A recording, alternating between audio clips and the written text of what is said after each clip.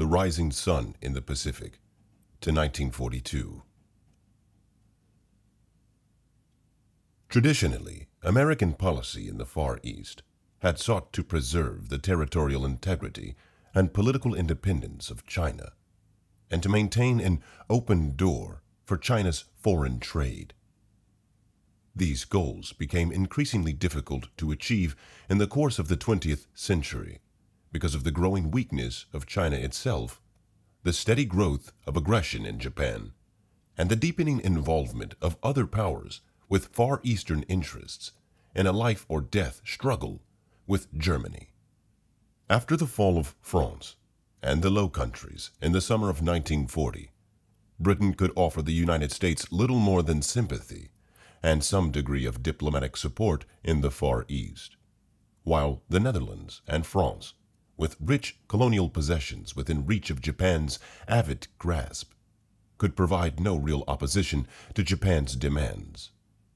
After Hitler's attack on Russia in June 1941, the Soviet Union, which had actually fought Japanese forces in the Far East in 1938 and again in 1939, could exert no pressure on Japan to deter further Nipponese aggression. Thus, by the summer of 1941, Japan was ready for new advances in the Far East, and only the United States was in a position to resist. This situation was complicated by the domestic political divisions within the United States and Japan. In general, these divisions tended to postpone any showdown between the two powers. On the one hand, the American government had developed a fissure between its military strategic plans and its diplomatic activities, just at the time when isolationist opinion within the country was making its most vociferous objections to the administration's policies in both these fields. On the other hand, the Japanese government was by no means united, either on the direction or on the timing of its next moves. The divisions in public opinion within the United States, and even within the Roosevelt administration, are obvious enough to the Americans. But the equally great divisions in Japan are largely ignored. It should be recognized by Americans today, as it was recognized by the Japanese leaders at the time, that the Japanese aggressions of 1941, which culminated in the attack on Pearl Harbor on December 7th, were based on fear and weakness, and not on arrogance and strength. To be sure, the earlier aggressions which began in Manchuria in 1931 and in North China in 1937 had been arrogant enough. The Japanese had been supremely confident of their ability to conquer all China, if necessary, even as late as 1939. As a consequence, their advance had been accompanied by brutality against the Chinese, by various actions to drive all Europeans and all European economic enterprises out of China, and by insults and humiliations to Europeans found in China, especially in Shanghai. By 1939, all of this was beginning to change. The attack on China had been bogged down completely. The Japanese economy was beginning to totter under a combination of circumstances, including the exhausting effort to strangle China and to administer a fatal blow to the retreating Chinese government by octopus tactics. The reorganization of Japan's home industry from a light basis to a heavy industrial plant, for which Japan lacked the necessary resources. The gigantic capital investment in Manchuria and North China. The growing restrictions on Japanese trade imposed by Western countries. And finally, the combination of a rapidly growing population with acute material shortages. Problems such as these might have driven many nations, even in the West, to desperate action. In Japan, the situation was made more critical by the large-scale diversion of manpower and resources from consumption to capital formation at a very high rate. And finally, all this was taking place in a country which placed a high esteem on military arrogance. In theory, of course, Japan might have sought to remedy its material shortages in a peaceful way by seeking to increase Japan's foreign trade, exporting increasing amounts of Japanese goods to pay for rising Japanese imports. In fact, such a policy had obvious weaknesses.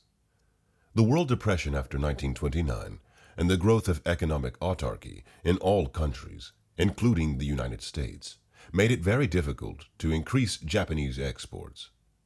The exclusively high American Smoot-Hawley tariff of 1930, although not so intended, seemed to the Japanese to be an aggressive restriction on their ability to live. The imperial preference regulations of the British Commonwealth had a similar consequence. Since Japan could not defend itself against such economic measures, it was ordered to political measures. To do otherwise would have been contrary to Japanese traditions. But by embarking on this course, Japan was heading in a direction which could hardly have a favorable outcome. If Japan adopted political measures to defend itself against economic restrictions, the Western powers would inevitably defend themselves with even greater economic restrictions on Japan, driving Japan, by a series of such stages, to open war. And, in such a war, in view of its economic weakness, Japan could hardly hope to win. These stages were confused and delayed over a full decade of years, 1931 to 1941, by indecision and divided councils in both Japan and the Western powers. In the process, Japan found a considerable advantage with the parallel aggressions of Italy and Germany. It also found a considerable disadvantage in the fact that Japan's imports were vital necessities to her, while her exports were vital necessities to no one. This meant that Japan's trade could be cut off or reduced by anyone, to Japan's great injury but at much smaller cost to the other nation. The steps leading to open war between Japan and the Western powers were delayed by the long-drawn indecision of the Sino-Japanese War. For years, Japan hoped to find a solution for its economic and social problems in a decisive victory over China, while in the same years, the Western powers hoped for an end to Japanese aggression by a Japanese defeat in China. Instead, the struggle in that area dragged on without a decision. The Western powers were too divided at home and among themselves, too filled with pacifism and mistaken political and economic ideas to do anything decisive about China, especially when open war was impossible and anything less than war would injure China as well as Japan. Thus, no sanctions were imposed on Japan for its aggression on Manchuria in 1931 or for its attack on North China in 1937. The American Neutrality Act was not applied to this conflict because President Roosevelt adopted the simple legalistic expedient of failing to find a war in the Far East. But the mere existence of laws which might have imposed economic sanctions or economic retaliation on Japan revealed to that country the basic weakness of its own position. In 1937, Japan received a series of lessons in the precarious state of its strategic economic position. In the first half of that year, as background for its growing military pressure on China, Japan bought a record amount of American scrap iron and steel, 1.3 million metric tons, in six months. Agitation to curtail this supply either by applying the Neutrality Act to the Sino-Japanese conflict or by some lesser action, was growing in the United States. Early in October 1937, President Roosevelt caused a controversy by a speech suggesting a quarantine of aggressor nations. Isolationist sentiment in the United States, especially in the Midwest, was too strong to allow the administration to take any important steps toward such a quarantine. Nevertheless, Stimson, who had been American Secretary of State at the time of the Manchurian crisis in 1931, made a public appeal for an embargo on the shipment of war materials to Japan. A month later, November 3rd through the 24th, 1937, a conference of the signers of the Nine Power Treaty of 1922, which guaranteed the integrity of China, met at Brussels to discuss what steps might be taken to end Japan's aggression in China. There was considerable talk of economic sanctions, but no great power was willing to light the fuse on that stick of dynamite. So the occasion lapsed and nothing was done. But the lesson was not wasted on Japan. It intensified its efforts to build up Japanese power to a position where it could use political action to defend itself against any economic reprisals.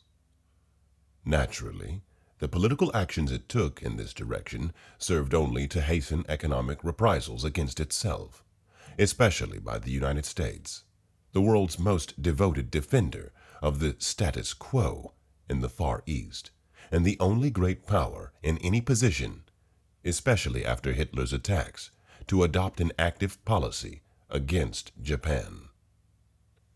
Japan could have achieved little toward a political solution of its problems if it had not been for the aggressions of Italy and Germany on the other side of the world. A full year before the Brussels Conference, on November 25, 1936, Japan had joined the League of Aggressors known as the Anti-Comintern Pact. Discussions seeking to strengthen this arrangement into a full German-Japanese alliance went on for years, but were not concluded until September 1940. Hitler was not sure whether he wanted Japanese support against the Western democracies or against the Soviet Union, and accordingly sought an agreement which could be swung either way, while Japan was interested in a German alliance only if it ran against the Soviet Union. At the same time, Germany objected to the Japanese war on China, since this prevented Japan's strength from being directed against either of Germany's possible foes, and jeopardized German economic interests in China. All these difficulties continued, although Ribbentrop's advent to the post of foreign minister in Berlin in February 1938 inaugurated a period of wholehearted cooperation with Japan in China replacing Neurath's earlier efforts to maintain some kind of neutral balance in the Sino-Japanese War. The German military advisers with Chiang Kai-shek were withdrawn, although some of them had been in their positions for 10 years and were likely to be replaced by Soviet advisers. The German ambassador was withdrawn from China, and the protection of German interests was generally left to lesser officials using Japanese officials in areas under Japanese occupation. The Japanese regime in Manchukuo was explicitly reorganized. 20th of February 1938. All shipments of German war materials to China, which reached a value of almost 83 million marks in 1937, were ended, and incompleted contracts totaling 282 million marks were canceled. The Japanese claimed that their attack on nationalist China was really an anti-communist action, although recognized as a fraud in Berlin, was tacitly accepted, and the earlier German efforts to mediate peace between China and Japan ceased. In spite of these concessions, Japan continued its efforts to curtail German economic enterprises in China, along with those of other Western nations.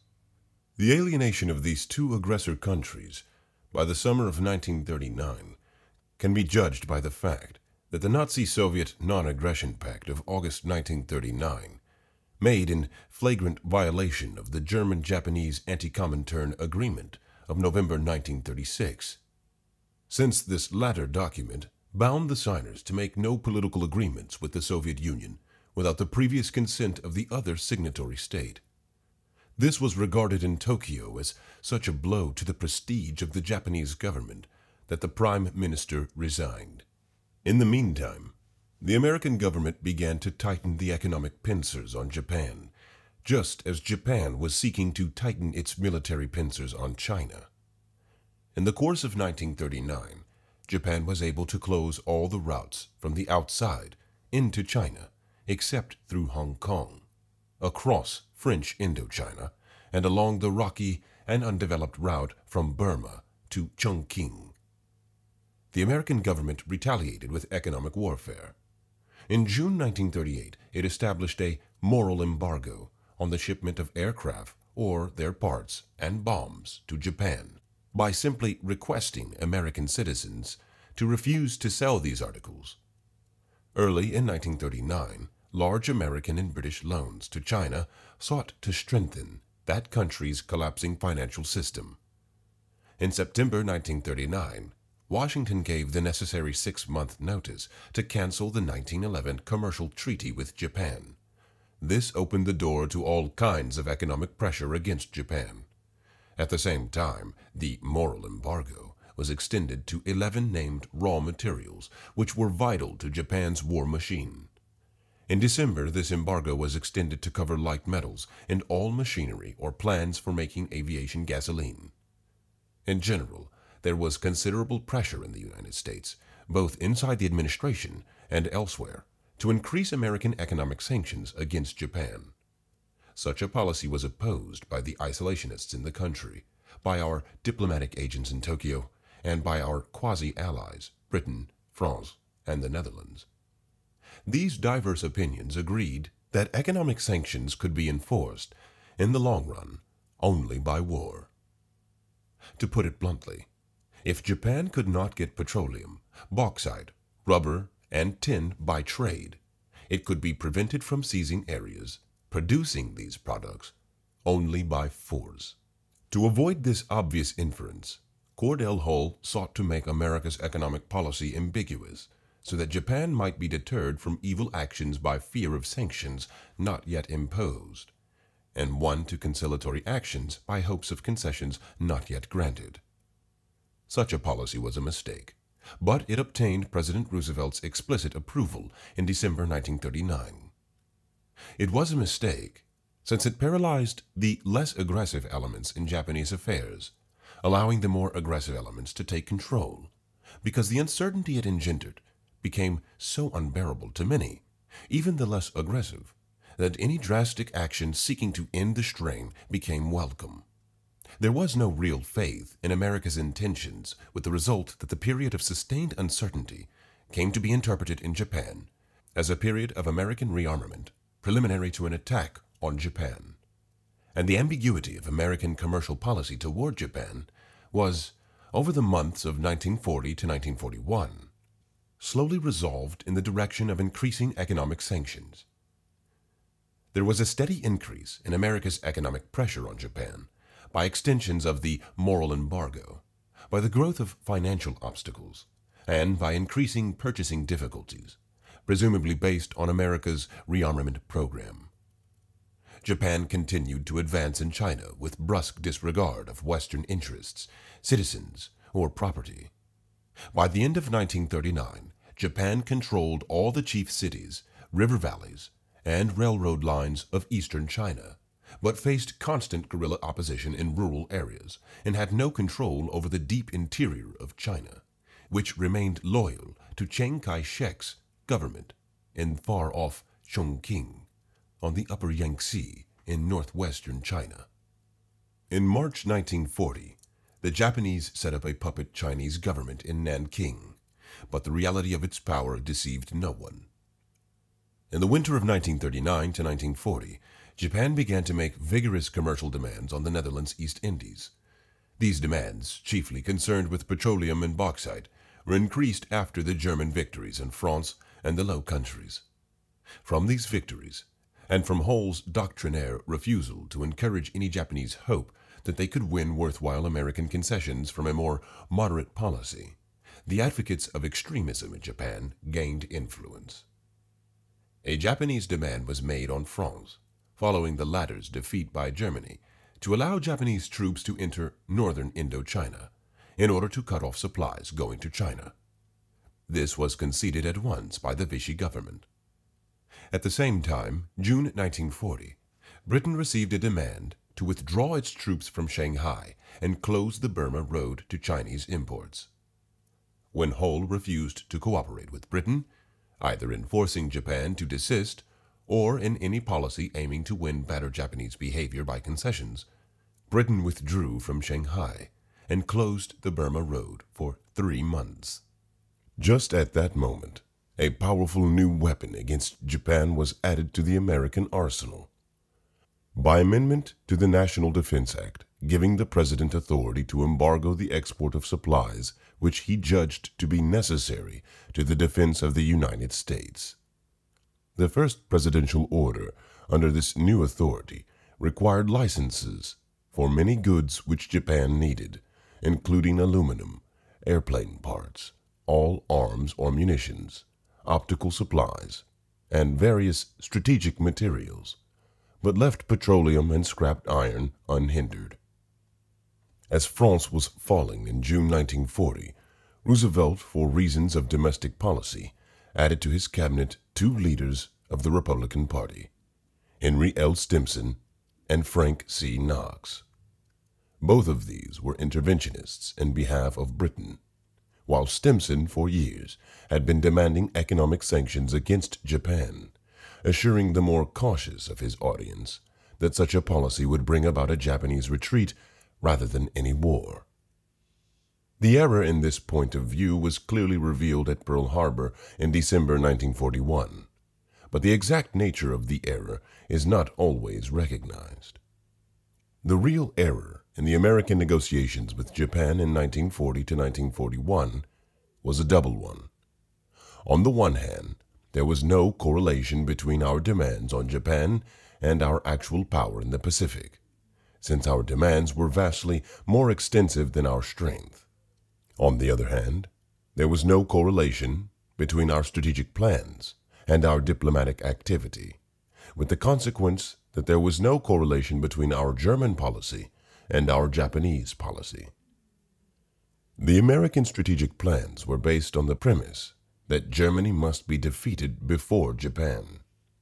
From this perfectly correct premise followed several corollaries which were not fully grasped by American leaders, especially by the non-military leaders. One of these corollaries provided that America must not get into war with Japan before it got into war with Germany.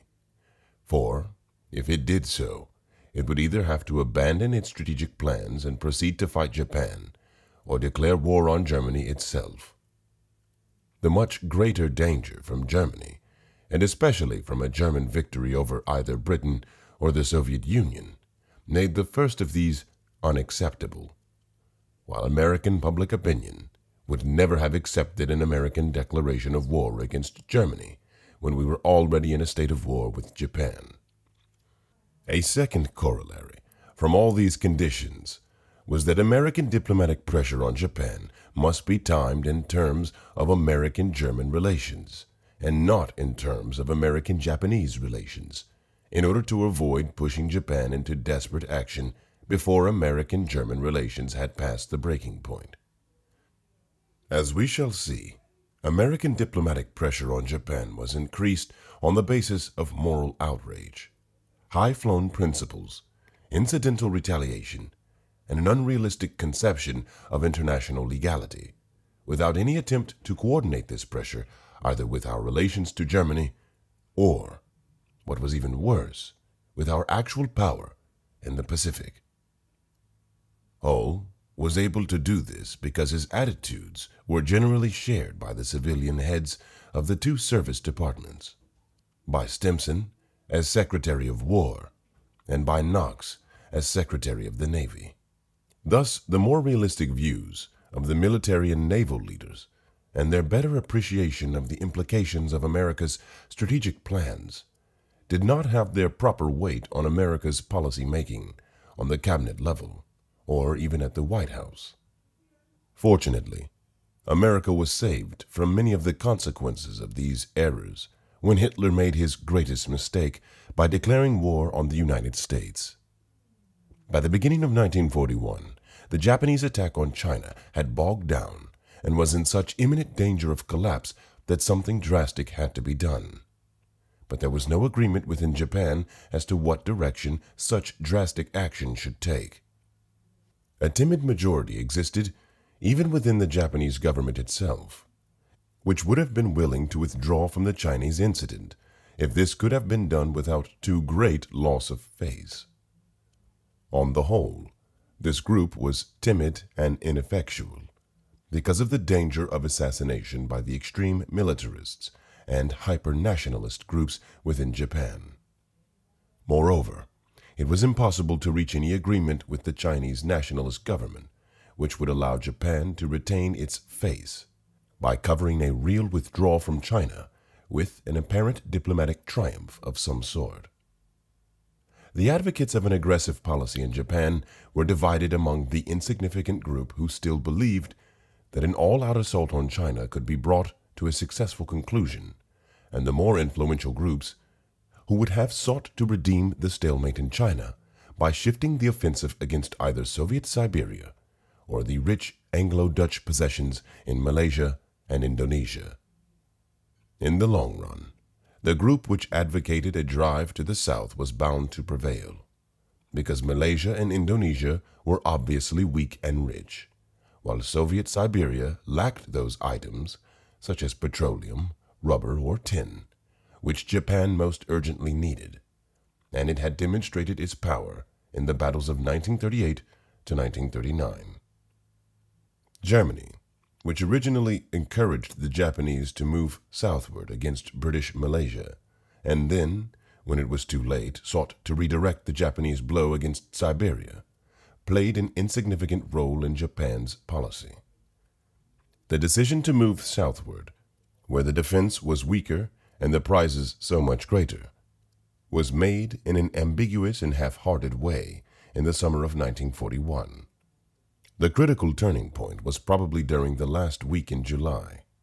During the six-week period, March 12 through April 22nd, Matsuoka, the fire-eating foreign minister, was absent from Tokyo on a visit to Berlin and to Moscow. In the German capital, he was advised to make no political agreements with the Soviet Union because of the imminent approach of war between that country and Germany. Matsuoka at once went to Moscow where he signed a Soviet-Japanese neutrality pact on April 13, 1941. In the meantime, in March, Japanese diplomats won special economic concessions in Siam, while in June, the nine-month-old trade discussions with the Netherlands East Indies broke down, without Nippon obtaining any of the concessions it desired. These agreements, if obtained, might have put Japan in a position where it could have withstood a total American petroleum embargo. Failure to obtain these meant that Japan's large oil reserves would continue to decrease to the point where Japan would be militarily helpless from total lack of oil. America could accelerate this process, either by curtailing the supply of oil or by forcing Japan into actions which would increase the rate of its consumption. Japanese oil production in 1941 was only 3 million barrels a year, compared to a consumption rate of about 32 million barrels a year. Reserves which had been 55 million barrels in December 1939 were below 50 million in September 1941 and fell to about 32 million by Pearl Harbor.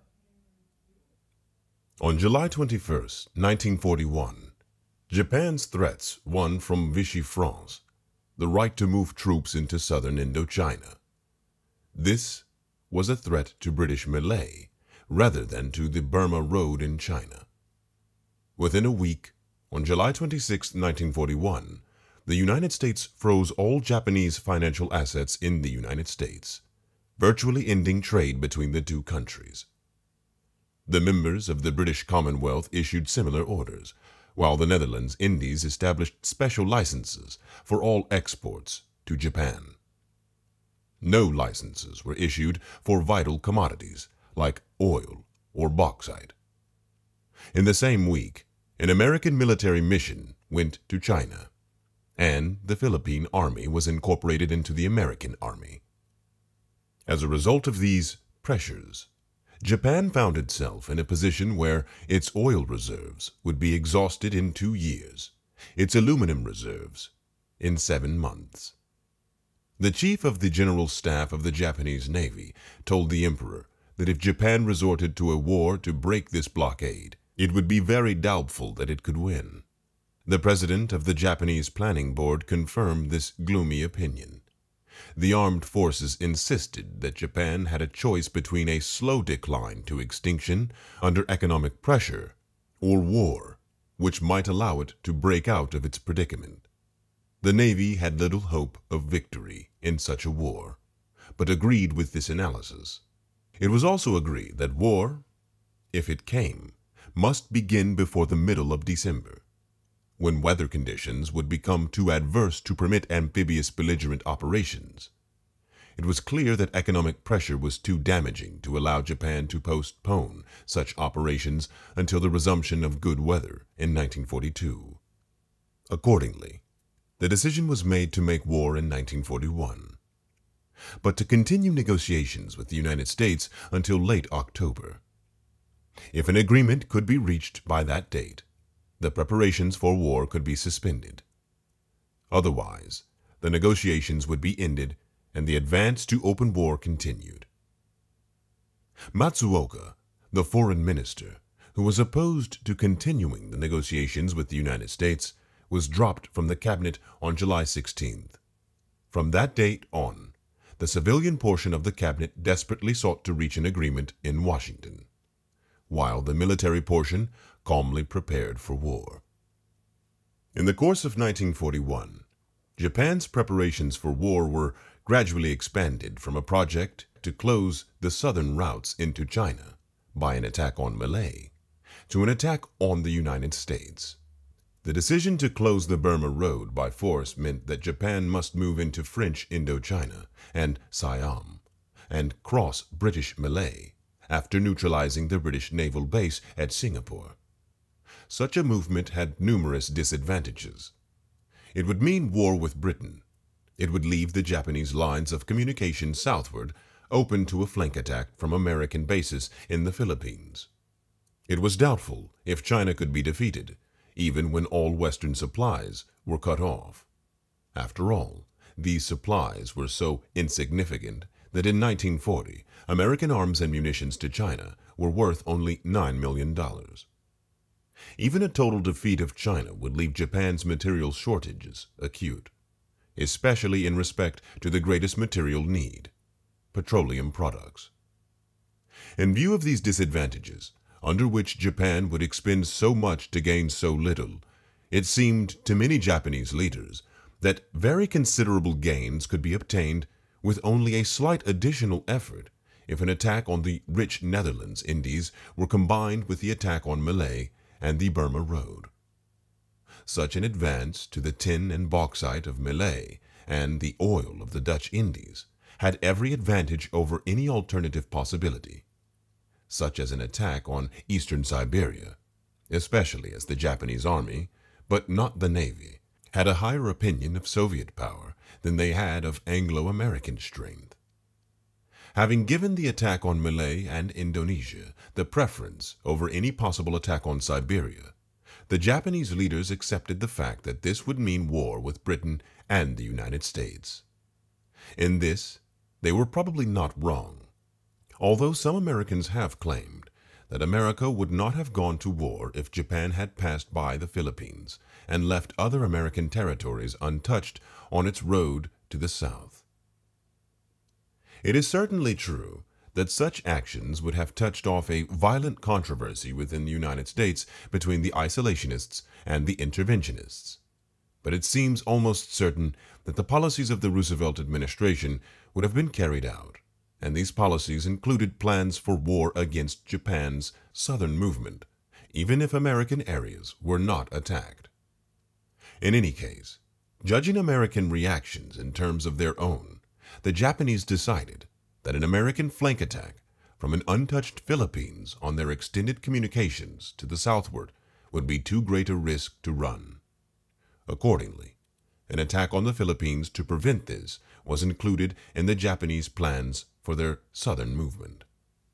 This decision led at once to the next step, the project to attack the American fleet at Pearl Harbor on the grounds that an inevitable war with the United States could be commenced most effectively with a surprise attack on the American Navy, rather than by waiting for an intact American fleet to come seek out the Japanese in their zones of active operations, in the southwestern Pacific. It must be recognized that one of the chief factors impelling the Japanese to make the attack on Pearl Harbor was that few Japanese, and these mostly in the army, had any hope that Japan could defeat the United States in any war carried to a decisive conclusion. Rather, it was hoped that, by crippling the American fleet at Pearl Harbor, Japan could conquer such a large area of the southwestern Pacific and southeastern Asia that peace could be negotiated on favorable terms. Here, once again, the Japanese misjudged American psychology. The negotiations in Washington between Kichisaburo Nomura and Secretary Hull were among the strangest diplomatic discussions ever carried on. Although Nomura probably was not informed of the Japanese plans to make war, he could not have failed to infer them because he had received instructions that he must reach an agreement by late October if peace were to be preserved. He found it impossible to reach such an agreement because Hull's demands were extreme, and his own superiors in Tokyo were unwilling to make any political concessions to win a relaxation of economic restrictions. The Americans had a clear view of the situation because they had broken the secret Japanese codes, and generally had Nomura's instructions from Tokyo before he did. Thus the Americans knew that Nomura had no powers to yield on any vital political issue, that he had been given a deadline in October, and that war would begin if he failed to obtain relaxation of the economic embargo before that deadline. They did not, however, have any details on the Japanese military plans, since these were not communicated by radio, and they did not realize that these plans included an attack on Pearl Harbor. In the course of November, American naval intelligence knew that Japanese armed forces were mobilizing and moving southward. By November 20th, it became clear that a task force of the Navy including four of the largest Japanese aircraft carriers, had vanished. At the end of November, intercepted Japanese messages showed clearly that the negotiations were no longer of significance. In early December, these showed that the Japanese embassy in Washington had been ordered to destroy all its codes and to prepare its staff for departure. The negotiations between Hull and Nomura were lengthy, technical, and hopeless.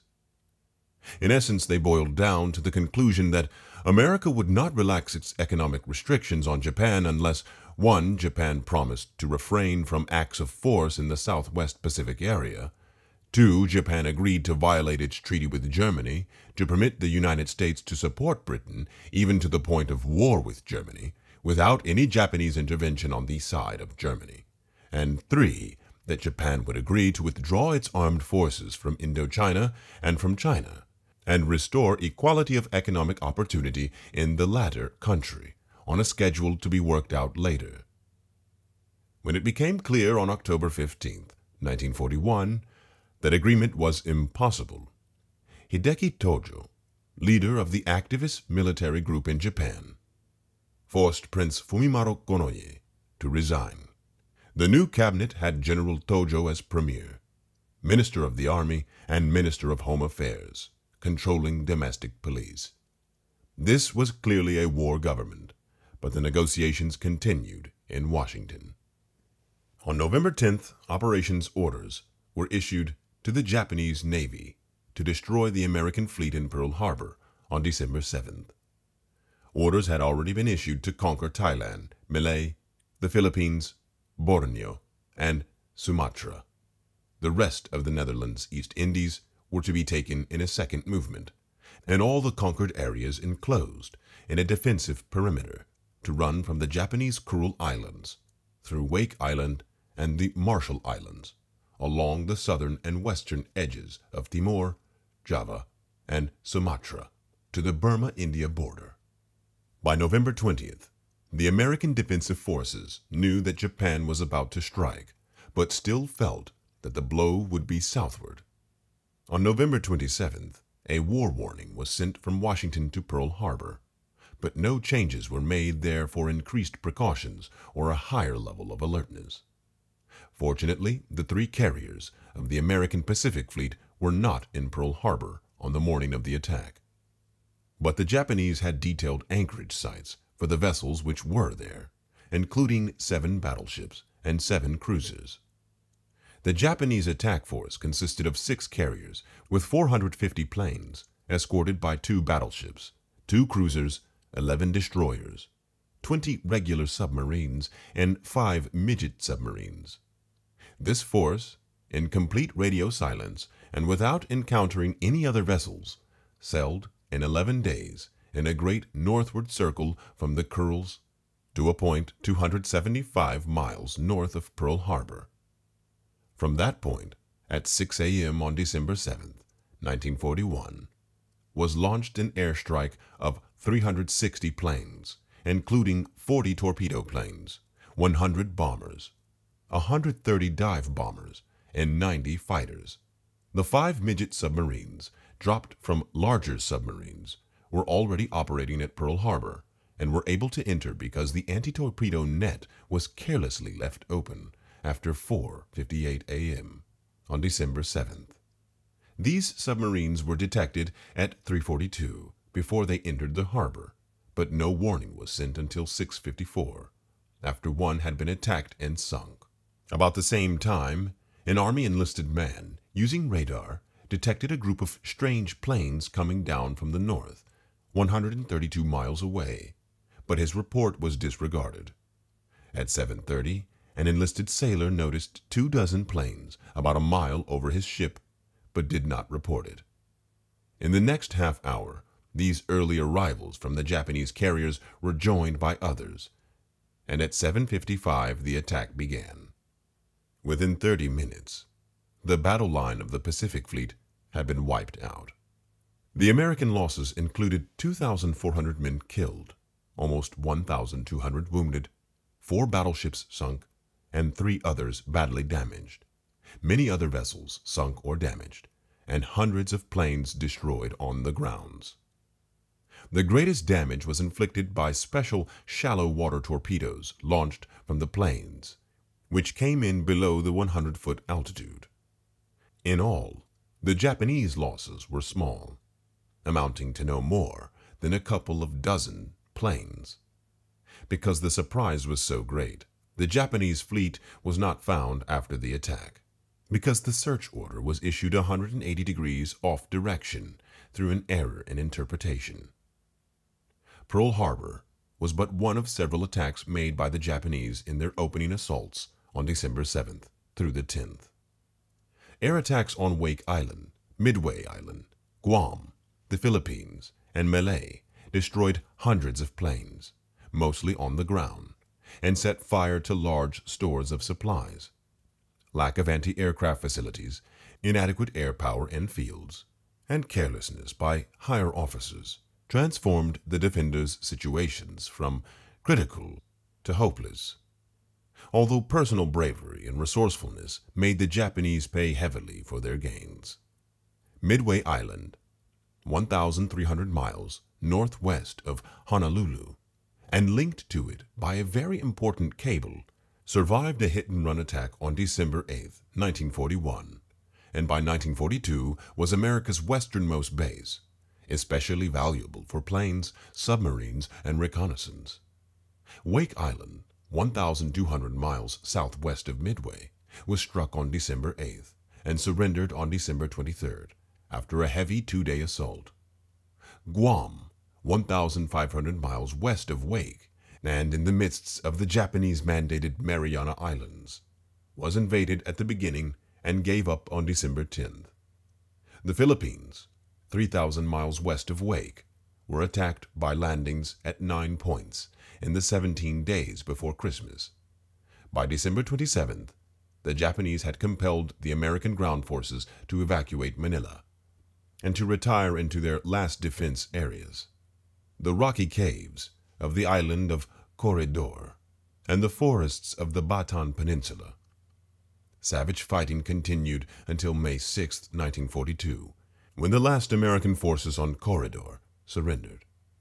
The commanding officers, General Douglas MacArthur and Admiral Thomas Hart, had already withdrawn to Australia. 1,500 miles west of the Philippines, a Japanese army invaded Thailand from Indochina, and on December 9th captured Bangkok without a struggle. About the same time, Japanese landings were made on the Malay Peninsula, north of Singapore. When the British battle cruiser Repulse and the new battleship Prince of Wales ventured north without air cover, since their accompanying carrier, Indomitable, ran aground. They were sunk by Japanese land-based planes, December 10th. These were the only Allied capital ships west of Pearl Harbor. But the event had much more significance than this. It showed that the capital ship was no longer the mistress of the seas, as it had been for at least two generations. And by doing so, it showed that the American losses at Pearl Harbor concentrated as they were on battleships, were not nearly so important as they had seemed to be. But even more significant, these sinkings off the east coast of Malay marked the end of British supremacy on the seas, which had begun with the destruction of the Spanish Armada in 1588. For the next two years, supremacy on the seas was in dispute, but at the end of that time, the decision was falling clearly in favor of a new champion, the United States. Fanning outward as they spread over the southwestern Pacific and southeastern Asia, the Japanese forces captured Hong Kong on December 25, 1941, and advanced on Singapore across the swamps on its landward side. This great naval base, the bastion of all British power in the Far East, had to surrender on February 15, 1942, without even being able to defend itself. Its great guns, aimed seaward at any army which never came, being completely useless against the Japanese who crept up on it from the landward side. Lying north of Australia in a great curve from Singapore to New Guinea was the Malay Barrier, originally intended to form the southern perimeter of the Japanese defense area. Like beads on a necklace across a distance of 3,500 miles, were stretched dozens of islands Sumatra, Java, Bali, Lombok, Flores, Timor, New Guinea, and others. These were taken so rapidly by the Japanese octopus that the straits between the various islands were closed before some Allied ships could escape through to the south. Five Allied cruisers and many destroyers were caught in this way and sunk in the week of February 26, 1942. Sumatra, Java, and Timor surrendered by March 9th, and Netherlands forces were wiped out. British forces withdrew to Ceylon, and the few surviving American vessels limped home for repairs. Rangoon, the Burmese capital, surrendered on March 8th, and exactly a month later, the triumphant Japanese naval forces swept westward to strike at Ceylon. In the first week of April, Holy Week of 1942, Japanese Admiral Shuichi Nagumo, who had led the attack on Pearl Harbor, made a similar attack on Ceylon, sinking the British carrier Hermes, two heavy cruisers, and many lesser vessels, including 136,000 tons of merchant ships. At this dark moment, mid-April of 1942, the tide of battle in the Pacific began to turn. The three American aircraft carriers which had been spared at Pearl Harbor, Lexington, Enterprise, and Saratoga, were joined by one of the two carriers from the Atlantic, Yorktown. These, with cruisers, destroyers, submarines, and supply ships, became nuclei for task forces, which relentlessly prowled the Pacific. On April 2, 1942, the new carrier, Hornet, with 16 United States Army Mitchell bombers, B-25s, wedged on its deck, sailed from San Francisco with a message for Tokyo. Escorted by the Enterprise Task Force to a point 850 miles from the Japanese capital, and thus 2,100 miles from their assigned landing fields in China, The 16 B 25s were taken off the plunging deck of the carrier by their Army crews of 80 men, led by Lieutenant Colonel James H. Doolittle. Four hours later, they dumped 16 tons of bombs on the Japanese capital and continued westward to China. Fifteen planes crashed in China after running out of gasoline, while the 16th found internment in Siberia. With Chinese help, 71 of 80 crew members returned to America. The whole episode was more spectacular than fruitful, but it did give a great boost to American morale and frightened the Japanese so badly that they kept four Japanese air groups in Japan for defense. During this period of the war, the United States had amazingly correct information regarding Japanese warplanes. Some of this came from our control over the Japanese codes, but much of the most critical intelligence came from other sources which have never been revealed. Through these channels, while Admiral William Halsey was still en route back from the Tokyo raid with two carriers, American naval authorities learned of two Japanese projects. The first of these planned to send an invasion force from Rabaul in New Britain, north of New Guinea, to capture Port Moresby on the southern shore of New Guinea. The second plan hoped to extend the Japanese defense perimeter eastward by seizing the Aleutian Islands and Midway Island in the northern Pacific. The former project was frustrated in the Battle of the Coral Sea, May 7th through the 8th, 1942, while the second project was disastrously defeated in the decisive Battle of Midway, June 4th, 1942. The Coral Sea, brilliantly blue and white, forms a rectangle more than 1,000 miles wide from east to west, and slightly longer from north to south. Open on the south, it is boxed in on the other three sides, with Australia to the west, the New Hebrides and New Caledonia to the east, and New Guinea and the Solomon Islands to the north. On May 8th, as the Japanese invasion force for Port Moresby came into this area from the northwest, it was intercepted by an American task force, including the carriers Lexington and Yorktown. The invasion force was turned back. A small Japanese carrier was sunk and a large carrier severely damaged, while fires on both American carriers were extinguished. After the battle, however, the Lexington blew apart from gasoline fires ignited by an electric motor spark deep within its hull.